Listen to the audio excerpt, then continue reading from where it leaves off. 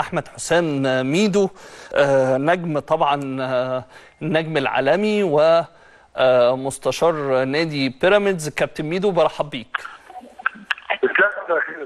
ازي حضرتك؟ عامل إيه؟ حبيبي الحمد لله تمام.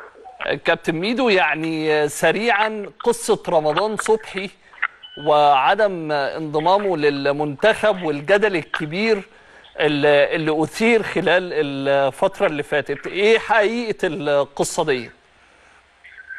لا يعني طبعا للأسف آه، تم آه، إقحام اسم آه، رمضان صبحي في أشرف. آه، و- وناس كتيرة يعني خرجت ورددت إن اشمعنى رمضان وناس اتكلمت بجهل عن الأمر. ان إن ناس مش عارفة إيه هي الحقيقة. طلعت وقالت إن آه وناس يعني شغاله في الميديا وشغاله في الاعلام ناس يعني آه واضح جدا إن هم بينفذوا أجندة خاصة آه الاجنده بتاعتهم بغض النظر عن مصلحة منتخب مصر وبغض النظر عن عن آه عن آه إيه هو إيه هي الحقيقة. آه أنت عارف يا اسامه إن إحنا دورنا كإعلاميين إن إحنا ندور على الحقيقة.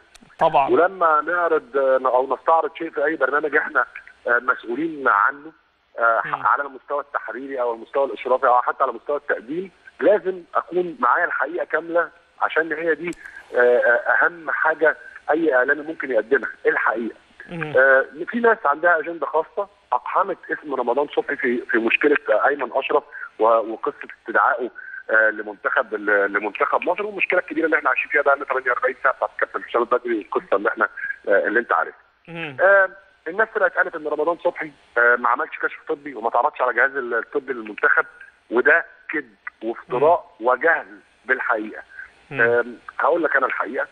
آه، رمضان صبحي عنده إصابة آه، في منشأ العضلة آه، الخلفية وعنده التهاب في منشأ العضلة ال- الخلفية. بعد المباراة بمباراه أفريقيا بتاعت تنزانيا بتاعت بيراميدز تم التواصل مع الدكتور أبو العلا والدكتور أبو العلا يعني راجل موجود حي يرزق آه، ممكن يتم سؤال- سؤاله في هذا الأمر. والدكتور أبو العلا طلب من رمضان صبحي فور وصوله مطار القاهرة إن هو يعمل إشاعة MRI اشعه رنين مغناطيسي لأنه لأن هو عنده اجتماع مع الكابتن حسام البدري الساعة 11 صباحا في نفس اليوم.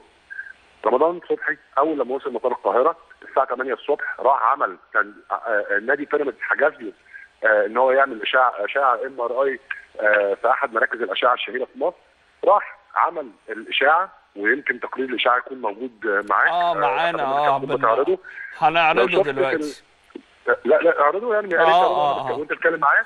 آه. آه، واضح جدا في تقرير ال ال ال ال الإشاعة اللي طلع إن بيقول إن رمضان عنده آه، آه، آه، مسك في استرين في منشأ العضلة الخلفية والتهاب في منشأ العضلة الخلفية من جريد 2 يعني من الدرجة الثانية. مما يتطلب آه، راحته على الأقل 12 يوم. رمضان آه، خد آه، عشان الناس اللي بتقول إن رمضان ما تمش آه، برضه عشان هو الطار اللي موجود مع رمضان مش عارف ليه رغم إن القصة انتهت خلاص مفيش مشكلة. آه، رمضان آه، خد آه، صورة الإشاعة وتوجه لعيادة الدكتور آه، أبو العلا قبل اجتماعه مع الكابتن حسام البدري وعرض عليه كابتن الدكتور أبو آه، آه، دكتور المنتخب كشف على رمضان وشاف الإشاعة وشاف التقرير وبناء عليه رفع تقريره على الك- الكابتن حسام البدري بأن آه، استحالة استدعاء رمضان صبحي للمعسكر ده لمنتخب مصر مم. دي الحقيقة كلها إسلام إحنا آه، عارضين آه، وحضرتك بتتكلم عارضين يمكن التقرير الطبي الخاص برمضان صبحي وده وبحقيقة يمكن وده. يمكن وده ده يمكن حاجة خارجة ليكم exclusive خاصة ليكم مش موجودة في أي مكان تاني مم. مم. يعني آه، مش موجودة في أي مكان تاني. آه، دي الإشاعة دي صورة آه. الإشاعة بتاريخها دي صورة الإشاعة بتاريخها. آه، لو شفت على الحاجات اللي معمولة بالأصفر ال highlighted آه. يعني أنا مش قدامي مش متفرج عليه فبتاع، هتلاقي إن مكتوب إن في آه، آه، في في السطر الأول آه، مكتوب إن في إن في آه، آه، تمز- آه، شد في العضلة آه، تمزق في العضله في العضلة الخلفية grade 1 وفي في السطر اللي تحتيه إن في ان في التهاب grade 2 في آه، منشأ العضلة العضله الخلفية. طيب هل أنت شايف إنها يعني في إطار الحملة اللي من ساعة أنا بكلمك يعني- بمنتهى الوضوح اللي هي موجودة على رمضان صبحي؟ يعني مش عايز أخش في. إحنا كلنا عارفين إن مش ما عندناش مشكلة في الكلام ده. رمضان لعيب شجاع وزي ما أنا قلت قبل كده. طبيعي إن هو يبقى في نقد اللعيب آه، لعيب خد اختيار والاختيار بتاعه اللي هو خده آه، عكس عكس توجهات كتيره كتيرة موجودة وهو خد قراره ولازم يتحمل مسؤولياته ويبقى شجاع وهو من أول لحظة موجود فيها في بيراميدز راجل شجاع راجل من أحسن اللعيبة اللي تأدي في آه، الدوري آه، في الدوري ال- في الدوري المصري واحد من هدافين من هدافين الفريق وده اللي كانت إدارة بيراميدز متوقعاه منه لما اتعاقدت آه، اتعاقدت آه، آه، معاه. آه، لكن ما عندناش مشكلة حملة مش حملة مفيش أي مشكلة لكن هو الموضوع كله إن لما ناس تطلع في الإعلام وناس تطلع في الميديا وناس إعلاميين تطلع وتقول معلومات آه، مغلوطة عشان تنفذ أو تخ- تخ- تخدم على أجندتها أو تخدم على التعليمات اللي هي واخداها لا ده غلط وعيب. إحنا بن- بنطلع بن- بنقول لكم أنا ممكن أكون آه في في سنة أولى إعلام لكن بقول لكم إن المفروض الطبيعي إن أنت لما بتعرض مشكلة لأن هنخلي شكلك وحش. فهو خلينا شكلك وحش خلينا شكلك وحش. أنا هو ده عرضنا الحقيقة.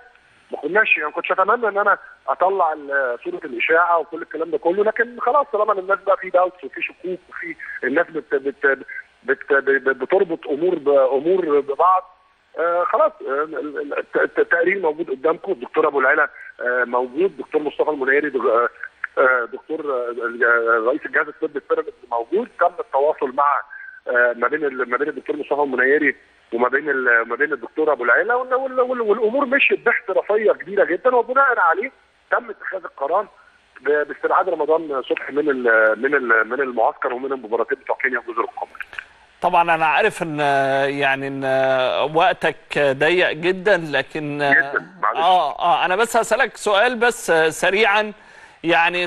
طموحاتك الفترة الجاية بالنسبة لإعادة مرة تانية آه، نادي بيراميدز لل- للمنافسه زي ما شفناه في اول موسم ليه لا يعني أنا أنا أنا, ما فيش أنا طموحات ليا أنا شخصيا أنا راجل أنا مستشار فني أنا راجل يعني, بيتم التفكير مع المدير الفني التفكير مع اللعيبه إيه اللي انت حريص عليه الفترة اللي جاية لا إحنا الحمد لله الفرقه ماشيه بشكل كويس عندنا مدير فني على اعلى مستوى آه آه برينا راجل من افضل المدربين ممكن اللي جم في مصر الفترة ال- الاخيره وكان طبيعي إن هو ياخد وقت أول ما يتعرف على الفرقة والفرقه فيها لعيبة زياده عشان تنسجم وتفضل توصل لأفضل مستوى.